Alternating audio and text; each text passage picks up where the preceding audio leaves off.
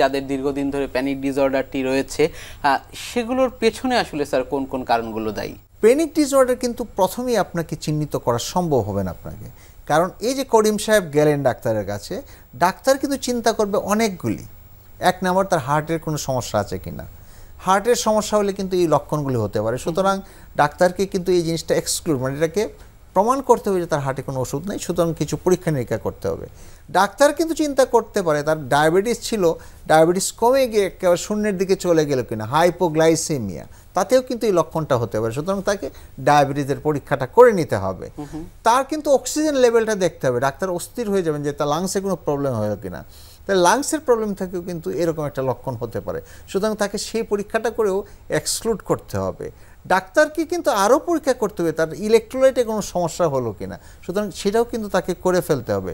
সুতরাং হার্ট হোক লাংস হোক ব্রেনের অন্য কারণ হোক, আমরা বলি এন্ডোক্রাইন মেটাবলিক এগুলি কারণ হোক, সেগুলি দেখে যদি কিছু না থাকে, তখন চিন্তা করতে হবে তার যে পেনিক অ্যাটাক হয়েছে বিকজ এই সমস্ত পরীক্ষা নিরীক্ষা ভালো।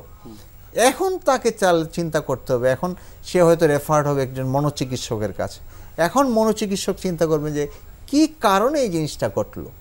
তাহলে পিছনে কারণে যেতে হবে। এই কারণগুলি আবার অনেক রকম হতে পারে। আমরা মনোরোগের তিনটি কারণ হিসাব করি। একটি বায়োলজিক্যাল কারণ একটি সাইকোলজিক্যাল কারণ একটি সোশ্যাল কারণ। বায়োলজিক্যাল কারণে মানুষের কেমিক্যালসের মধ্যে পরিবর্তন হয় ব্রেনে নিউরো কেমিক্যালস বা নিউরো ট্রান্সমিটারের পরিবর্তন হয়। সেই ক্ষেত্রে পেনিকের ক্ষেত্রে হয়তো নরএফিনেফ্রিন বা এফিনেফ্রিন বা কোর্টিসল এইরকমভাবে অথবা ডোপামিন, এই সমস্ত নিউরো কেমিক্যালস বা নিউরো ট্রান্সমিটার বেড়ে যায়। সেই জন্য তার পালপিটেশন হয়, বুক ধরপড় করে, অস্থিরতা লাগে, শরীর ঘেমে যায়। তাহলে এই বায়োলজিক্যাল কারণগুলিকে আমরা চিন্তা করতে পারি। আর সাইকোলজিক্যাল কারণটা খুব ইম্পর্টেন্ট কারণ সেখানে একটি স্ট্রেস বা একটি সাইকোলজিক্যাল ট্রমা বা মানসিক একটি কষ্ট থেকে তার কিন্তু এই জিনিসটার উৎপত্তি হতে পারে।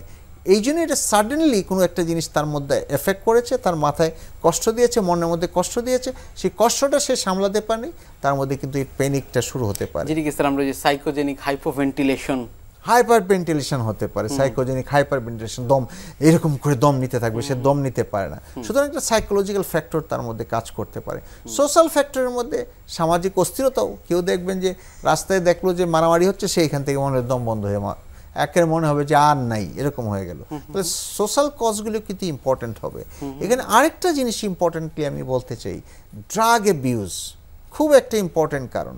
এবং আমরা কিন্তু এই রোগীগুলি পাই যে ইয়াবা ব্যবহার করে বা গাঁজা ব্যবহার করে তাদের মধ্যে কিন্তু এটার মাত্রাটা বেশি।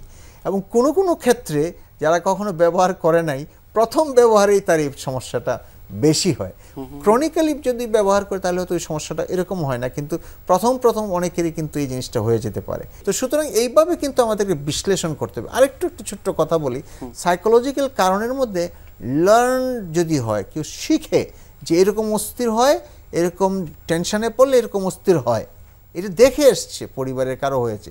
তার মধ্যে কিন্তু দেখাটা সে শিখে নিয়েছে মনের অবচেতনে কিন্তু সেটা আবার প্রকাশ পেতে পারে। এরকমভাবেও কিন্তু প্যানিক অ্যাটাক হতে পারে।